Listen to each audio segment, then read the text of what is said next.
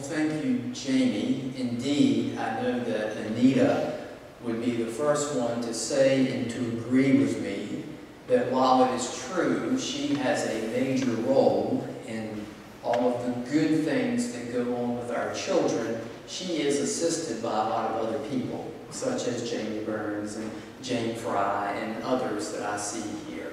Uh, our church invests in our children, pleased to be a part of that. Let's look, if we may, today on this second Sunday of the Easter season with resurrection in the air. Let's look at 1 Thessalonians chapter 4. We will read together verses 13 through 18. And while you are finding that, I just want to take a moment, if I may, and pat our congregation on the back. I had a family tell me in the early service that they have been on vacation the past week that they left for vacation after worship last Sunday and they came back from vacation in time for worship this Sunday. There is someone else in our sanctuary today who has done something similar, and I know that many of you are trying to make this a habit in your own lives. And I just want to say to you how much that thrills me as your pastor. We have a good church here. We have a strong church here. And I think we're going to come out of COVID stronger than when we went into COVID. At least that is my prayer. In order for us to maintain a strong church in a Ahoskie, it's going to take a little bit more work than if we were in Raleigh. That is just the reality of our situation. So I thank you, all of you, who are committing to the wealth and to the health of our congregation. I am inspired and I am thrilled to be your pastor. So let's read together, shall we? The Apostle Paul says, But we do not want you to be uninformed about those who are asleep, so that you will not grieve as do the rest who have no hope. For if we believe that Jesus died and rose again, even so, God will bring with him those who have fallen asleep in Jesus. For this we say to you by the word of the Lord, that we who are alive and remain until the coming of the Lord will not precede those who have fallen asleep. For the Lord himself will descend from heaven with a shout, with the voice of the archangel, and with the trumpet of God. And the dead in Christ will rise first. Then we who are alive and remain will be caught up together with them in the clouds to meet the Lord in the air. And so we shall always be with the Lord. Therefore, comfort one another with these words. This is the word of God for us, the people of God. Thanks be to God, and shall we pray. O oh God, indeed, you are magnificent. You are so good to us. And I know enough of the stories of the people who are gathered now underneath the sound of my voice. I know that some of our folks are doing quite well, that life is relatively smooth for them. And I know that other of our people are not doing so well that they're struggling with finances, or they're struggling with sickness, or they're grieving the passing of a loved one. But, oh God, all of us, no matter how our individual lives are, we gather collectively and we sing your praises indeed for what you have done for us through your Son, Jesus the Christ. And it is Christ that unifies us together. We have unity in the midst of our diversity. And teach us now, as we continue to consider resurrection hope. And it is in the name of Jesus, oh God, oh perfect God, it is in the name of Jesus that we make this prayer unto you now. Amen. It is very important to me that you get the point of my sermon today. I'm not suggesting that this wasn't important to me last Sunday, and if the Lord tarries, it will be important to me next Sunday that you get the point of my sermon. But today, it is, for whatever reason, especially important. So I have no fancy stories. I have no illustrations. I bring to our pulpit today very little sophistication. Instead, I bring to our pulpit to get today direct communication. And here is my point. Here is what I want you to get. Here it is. Just as Jesus was raised from the dead, so will Jesus' followers be raised from the dead. That's it. That's the point. That's what I want you to take home with you. If you're in the habit sometimes of discussing the pastor's sermon over lunch, I'd like you to discuss this over lunch. Just as Jesus was raised from the dead, just as God raised Jesus from the dead, so will God raise Jesus' followers from the dead. My experience with the Christians that I've hung out with through the years is that we tend to emphasize Jesus' resurrection, especially on Easter Sunday, but even during other times of the year. But there is little emphasis. We tend not to accent our own resurrection, the general resurrection of the dead. Do you remember the Apostle Paul's words from a couple of weeks ago when we were doing all this baptizing from Romans chapter 6, verses 4 and 5. Paul says, Therefore we have been buried with Christ through baptism into death, so that as Christ was raised from the dead through the glory of the Father, so we too might walk in newness of life. Now verse 5. For if we have become united with Christ, in the likeness of his death, certainly we shall also be united with Christ in the likeness of his resurrection. So indeed, this idea of the resurrection of the body, it is a crazy idea. I'm going to concede that today. It is an incredible idea. Some folks would think we're crazy for holding on to these kinds of beliefs in our modern age. But I continue to maintain them, and I suspect you do too, at least to a certain degree.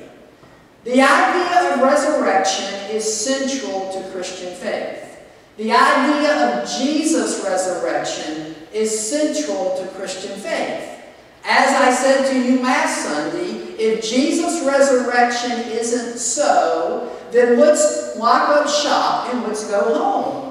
What are we doing here? Why did I get up at quarter to six this morning if Jesus' resurrection didn't occur? If it didn't occur, I'm going to sleep in on Sundays. If it didn't occur, I'm going to cut my grass on Sunday mornings. I'm going to do what all the other secular people do with their time on Sunday mornings. In fact, I'm going to meet them for coffee. So, Jesus' resurrection is central to Christian faith. However, so is my resurrection, and so is your resurrection. So is this broader concept you see of the resurrection of the dead. Isn't it interesting that in 1 Thessalonians chapter 4, here the Apostle Paul does not discuss Jesus' resurrection. He discusses that elsewhere. But in 1 Thessalonians chapter 4, the Apostle Paul is discussing your resurrection and my resurrection, and of course the Thessalonians' resurrection. It seems that as we look at Paul's time in Thessalonica from the book of Acts, Paul was in Thessalonica for three weeks. Thessalonica is in modern day Greece. He was run out of Thessalonica. He ends up in Corinth in Greece. He sends Timothy to check on the church that he had founded in Thessalonica. And Timothy comes back and says to Paul, Hey, Paul, those Thessalonian Christians, they're doing well. The heat was turned up on us when we were there. We had to leave town, but they are standing for Christ. However, they do have a question. And it appears that the Thessalonians had misunderstood Paul, or as sometimes happens with we teachers, we just weren't as clear as we should have been. And when Paul was with the Thessalonians, no doubt he preached his strong belief, his eschatological belief in the return of Jesus. The Apostle Paul believed that Jesus was going to return very soon. This Old Testament concept of the day of the Lord, uh, Jesus' prayer that God's kingdom come on earth as it is in heaven, this concept that at some point in the future, God's going to intervene. God's righteousness is going to reign. God is going to make all the evils right. All the injustices are going to become just. God is going to kick evil out. No more sexism, no more racism, no more child abuse, no more early death because of cancer, no more none of that stuff. And when the day of the Lord comes, Jesus is going to return. Paul thought that was going to happen very soon. In fact, as we'll see here, he thought it was going to happen in his own lifetime. And so he preached that to the Thessalonians. Well, between the lines, as we have to with Scripture sometimes, oftentimes, it appears that after Paul left the Thessalonians, Uncle John died. And then Aunt Sally died. And the Thessalonians had questions. Well, Paul, what happens to Uncle John? What happens to Aunt Sally? They have already died before the day of the Lord, before the return of Christ.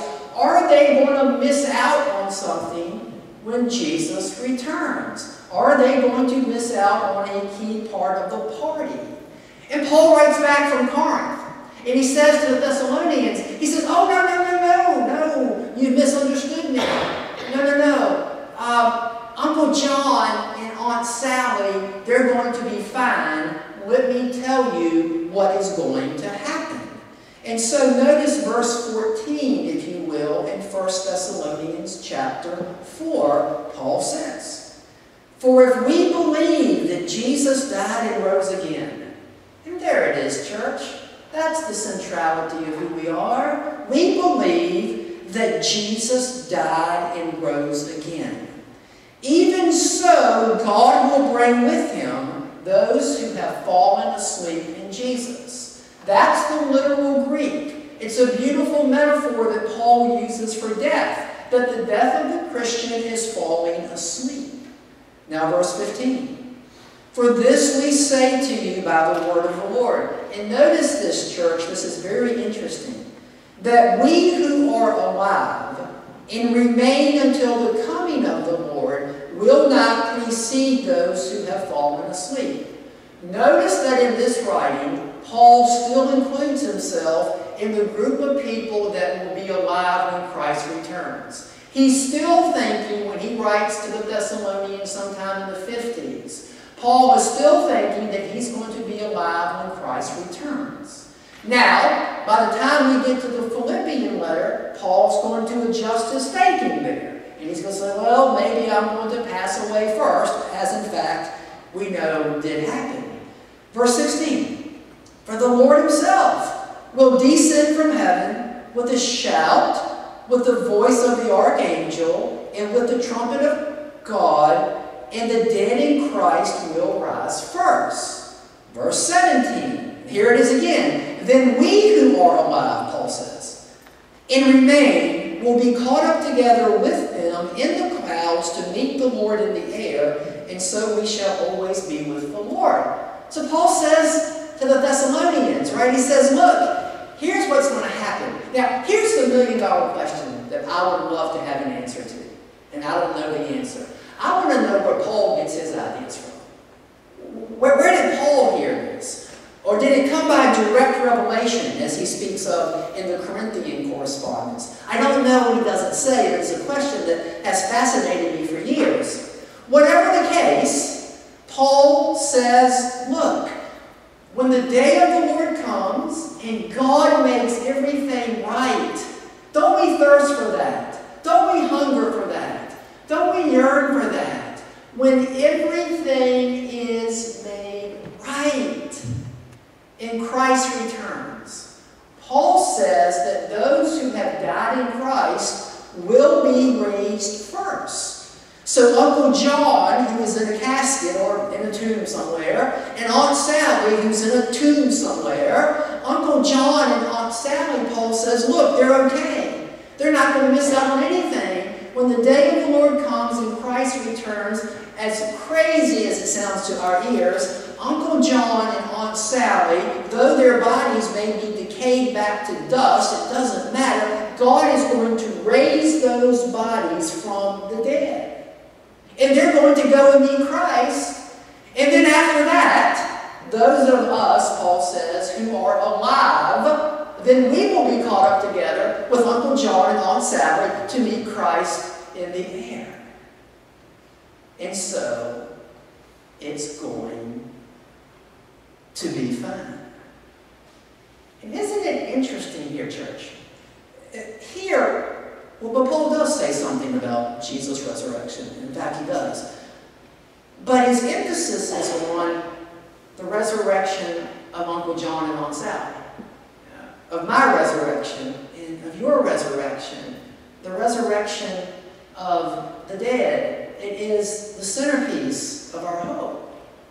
And there are practical applications for this. Notice verse 13.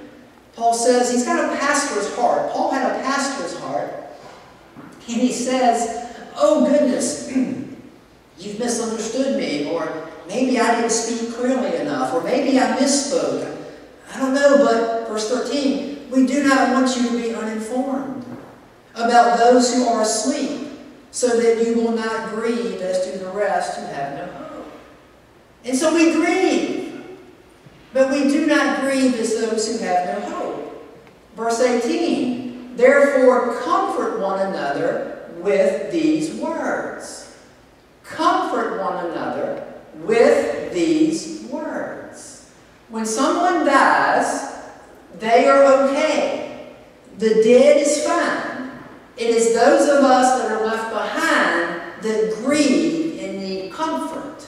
And our resurrection hope and our resurrection faith is, in fact, what comforts us.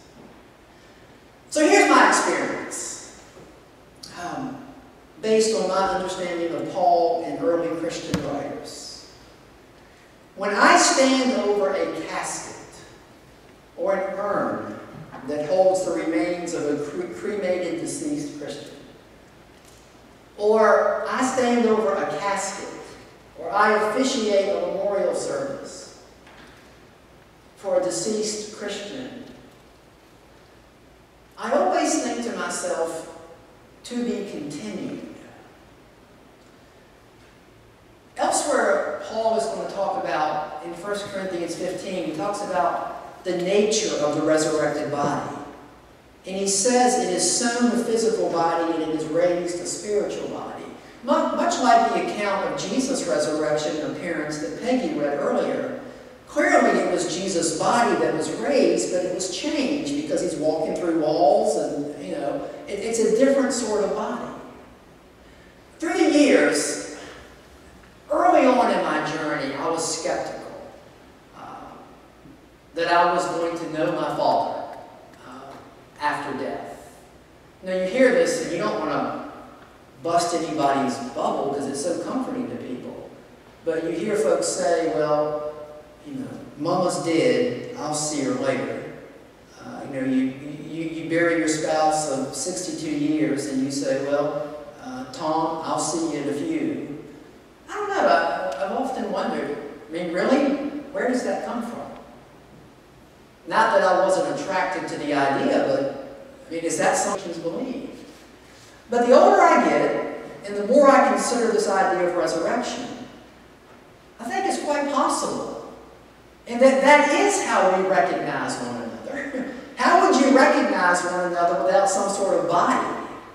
But it's a resurrected body, like Jesus' body, that is raised from the dead and then it is changed. So when I stand over a casket, I think to be continued. Paul will say in 2 Corinthians 5 that to be absent from the body is to be present with the Lord. So, in some sense, I assume when we die, we are with God.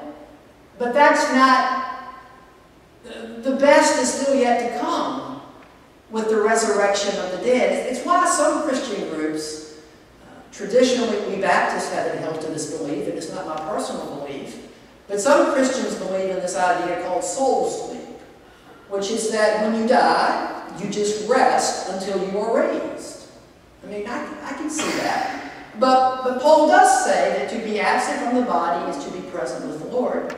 So I assume that when we die, we are with God in some sense, but to be continued.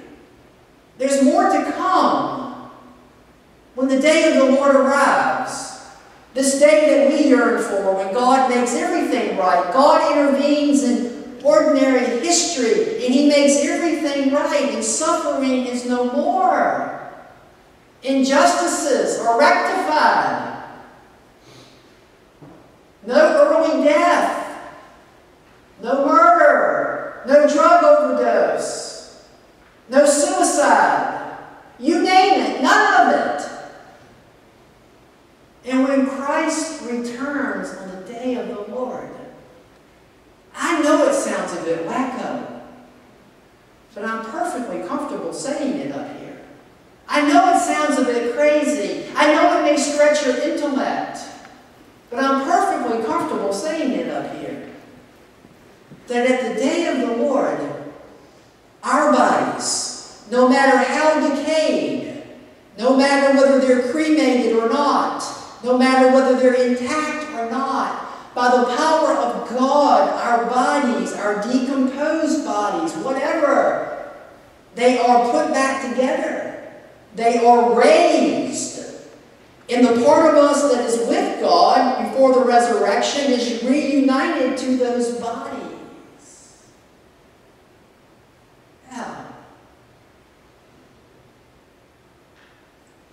I think that's Paul's understanding. Think that's rather consistent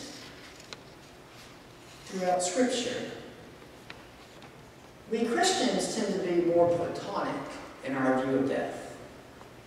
And we tend to think, okay, Uncle John has died, and now Uncle John is with God, Uncle John is in heaven, Aunt Sally dies, and Aunt Sally is with God, and Aunt Sally is in heaven, and Uncle John and Aunt Sally are together. Yay, yay, yay, yay, yay.